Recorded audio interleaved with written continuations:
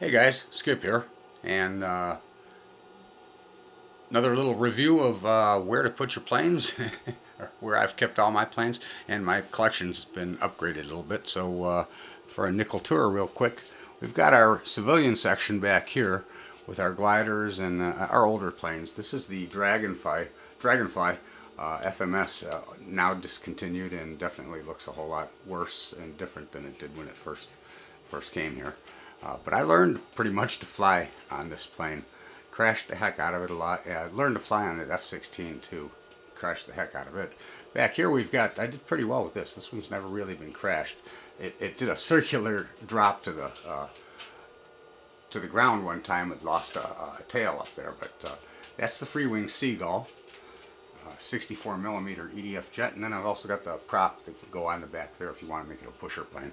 It's got nice little slots for a camera and stuff there. Back here you see the uh, Cessna that we just re uh, recently did. Here's my timber. And behind that we've got the uh, we've got the Hobby King Zephyr, a 70 millimeter EDF jet glider. That thing is really fast. And I've got my floats here and here. And that would be for the big Carbon Z Cub that fits nicely right there on that wall.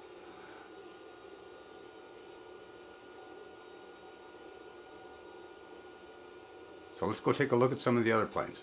Hold tight. Okay, Garmin, stop recording. Uh, here is basically my bedroom, guys. Uh, but uh, I've got my one side of the closet here just for for this plane sits there very nicely, hangs very nicely there. And right behind it in here is where I keep the uh, the A10, the great big uh, Freewing A10 that I picked up last season. Ordinarily, that's where it's at. Right now, it's somewhere else. So that was the Cessna 150 Carbon Z. Let's see, let's mosey on into here. This is a busy room. Turn some light on start off right up here. We've got the F-117A stealth jet. Haven't flown this one yet. It's going to get flown this year though. Up here we just recently saw the uh, B-24 Liberator bomber.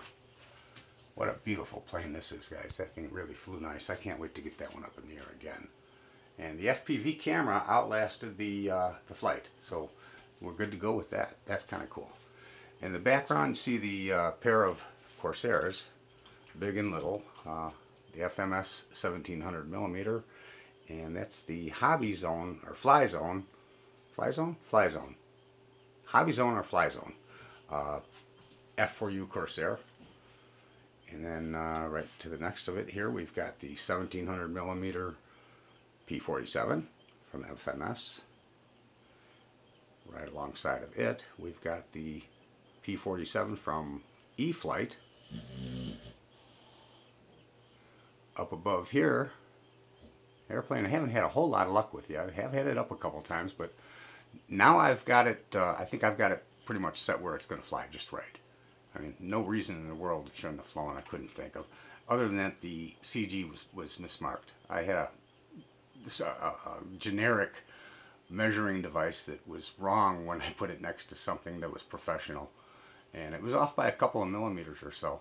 So that might have been been a big difference why it was so nose heavy last time I flew it.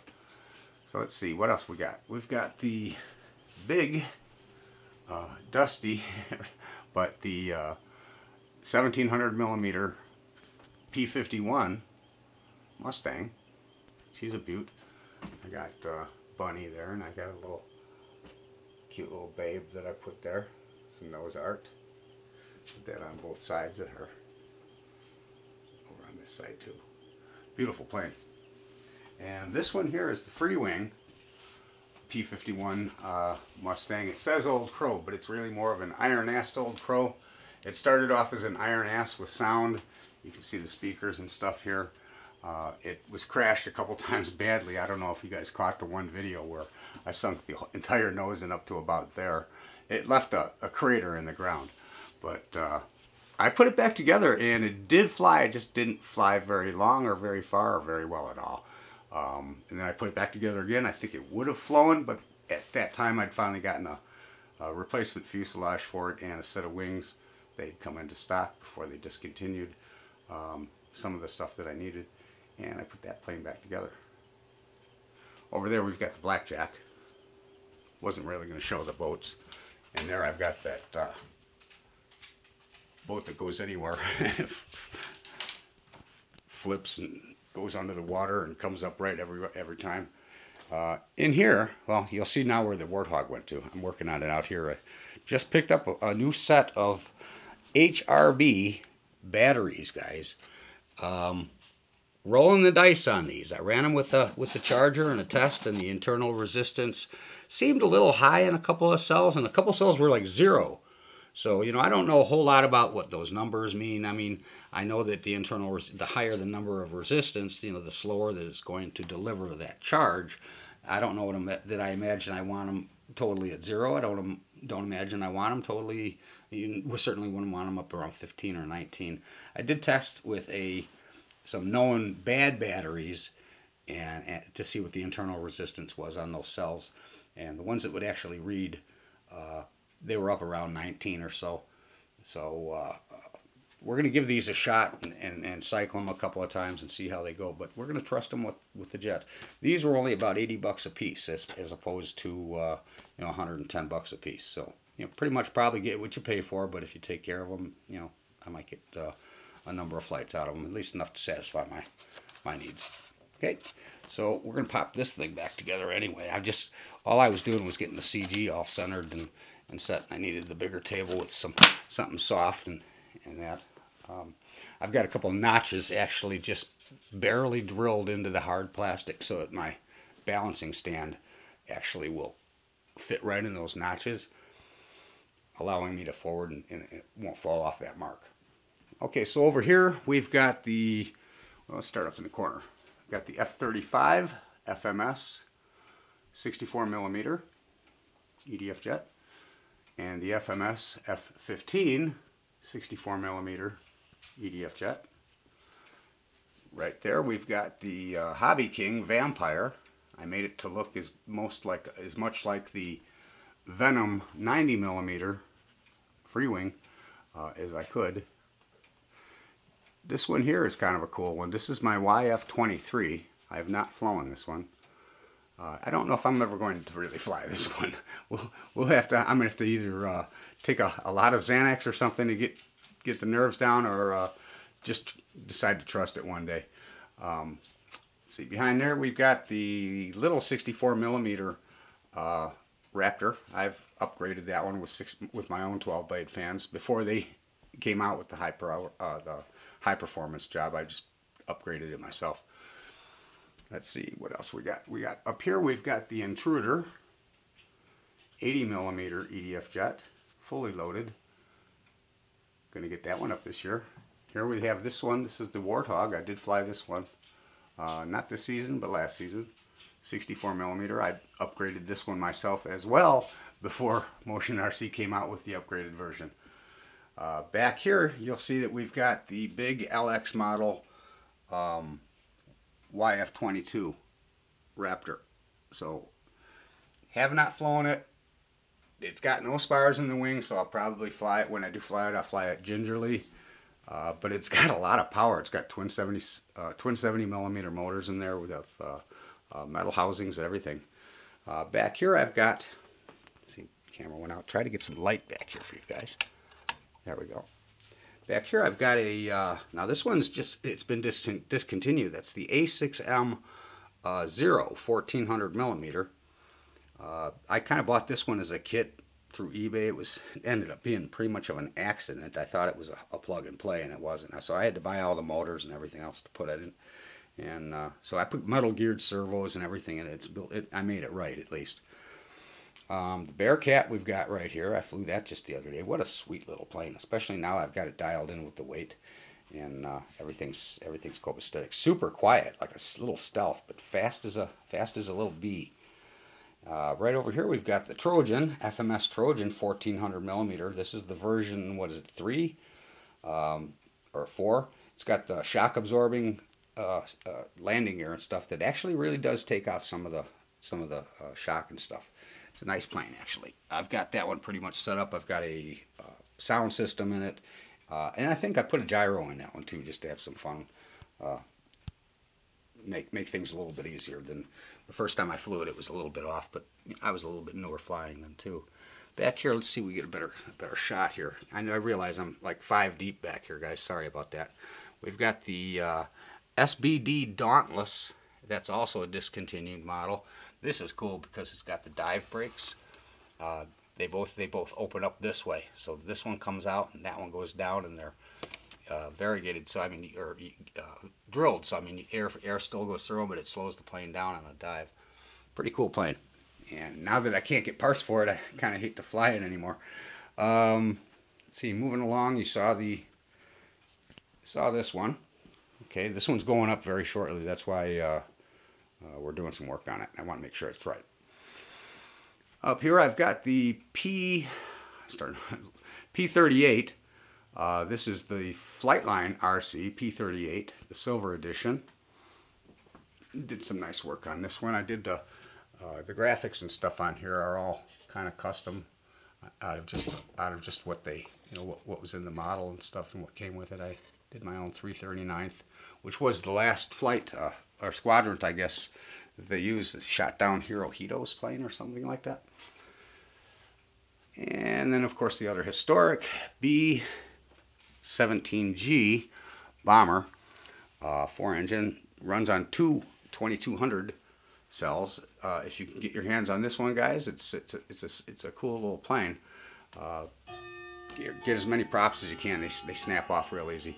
But uh, um, nice little plane. It sounds real cool.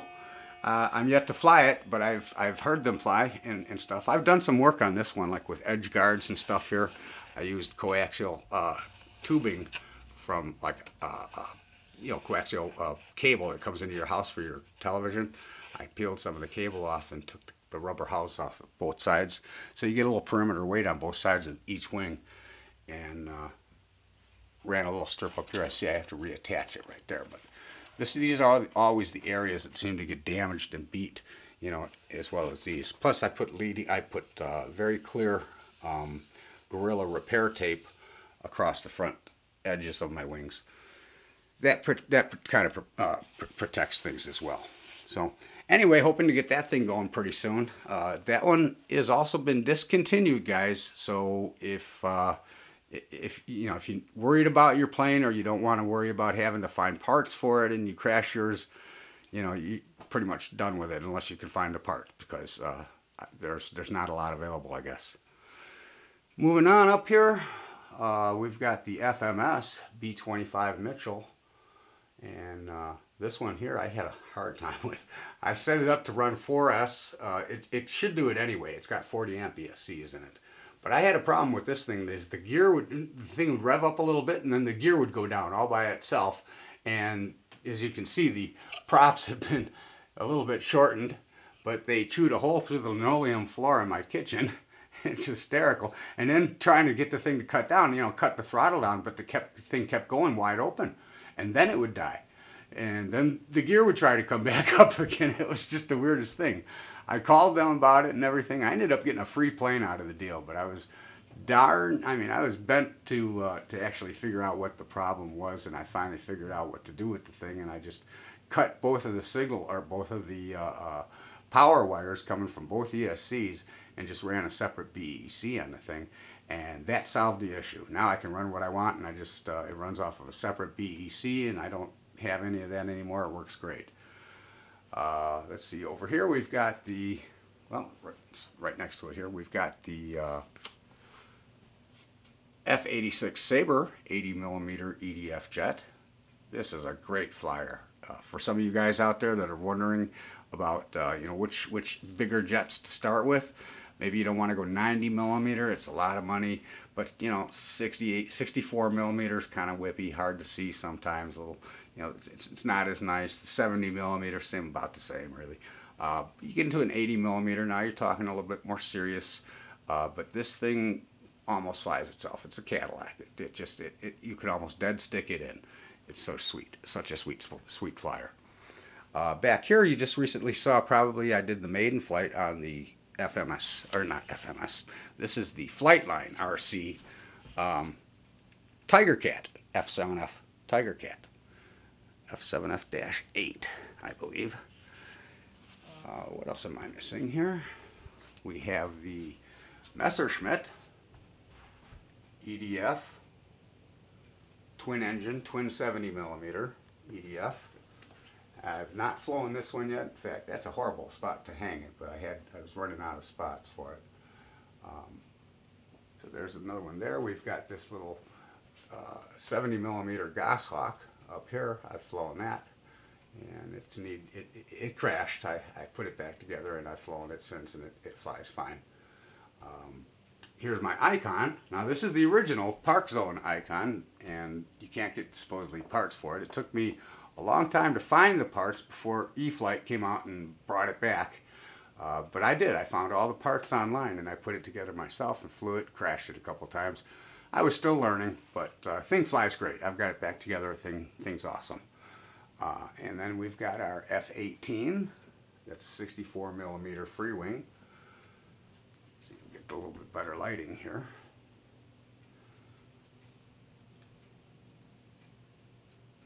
Right next to it, we've got the F-16 Freewing version 2, the new one.